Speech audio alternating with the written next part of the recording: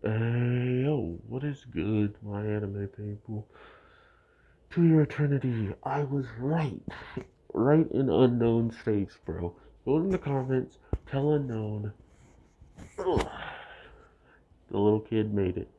The little kid made it. Ugh. He made it. Yeah, yeah, yeah. No tears. I didn't cry because I thought that kid was alive. And he was alive. So the tears were saved for a good reason. Unknown's probably watching that episode like, Nani? Foolish. Fushi would never let him die like that.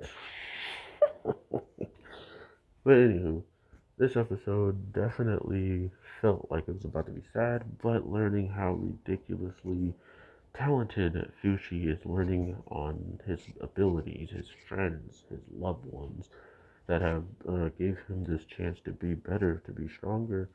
Um, learning like sleep powder and how to spread it with the crow or the owl was absolute genius. And then to put a body which, to be fair, to be fair,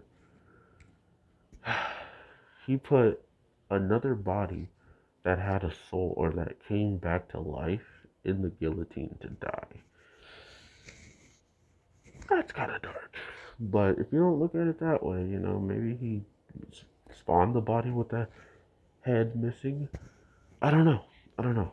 But that was pretty effing dark. Still knowing about the girl and as we saw with the knocker talking through writing, uh, it's not true that he can't bring back somebody as a certain thing, like a corpse.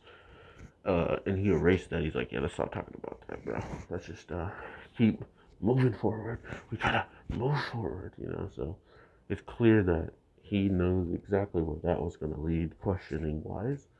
And that's another reason why I don't like the prince. He's kind of an a hole for that in the grand scheme of how he's pushing. Um, regardless, though, it's fun to watch. It has been quite a roller coaster when it comes to this show in general. But to know that this kid is alive, uh, even the man who looks pretty now is alive. um, it was funny to see her start eating to try to get back to her old form to be treated the way that she used to be. Um, overall, though, I really do like what I'm seeing. I'm hopeful for a reunion of sorts with certain characters that don't get interrupted, but if they do uh, get to make it all back, we'll see what happens there. It just feels weird that the prince is going headfirst into this battle in a place where he just would have been uh, guillotined, right? And the same with Fushi, he was a prisoner there, but he's gonna go save them because the knockers are attacking a place where Fushi would have the hardest time to fight at while at the same time fighting them. Insanity. But overall, I hope you have an amazing one, y'all. I am your boy, the Anime G. Please do like, subscribe, all that good stuff. Your boy's going through a lot, but I'm trying to push forward, as y'all should as well. If you're going through something, please know you got your boy here and multiple others in the community. And I'll definitely be dropping videos the best I can. So take care and peace, y'all.